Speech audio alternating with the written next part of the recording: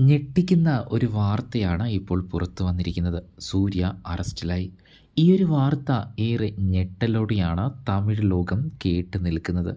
എന്തു തന്നെയാണെങ്കിലും അപ്രതീക്ഷിത സമയത്തെത്തിയ ഈ ഒരു വാർത്ത ഏവരെയും ഒന്ന് നടുക്കിയിട്ടുണ്ട് എന്ന് തന്നെ പറയാം.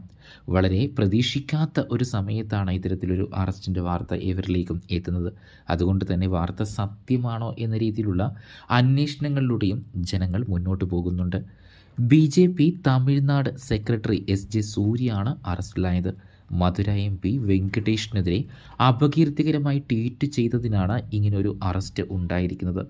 എന്തു തന്നെയാണെങ്കിലും ഇപ്പോഴിതാ ഇത് തിരിച്ചടികളുടെ കാലമാണെന്നാണ് തമിഴിലെ വാർത്ത. തമിഴ് സോഷ്യൽ മീഡിയയിൽ മൊത്തം സൂര്യ അറസ്റ്റിലായ വാർത്ത തന്നെയാണ് ഇപ്പോൾ പരന്നുകൊണ്ടിരിക്കുന്നത്. ഇത് തിരിച്ചടികളുടെ കാലമാണ്.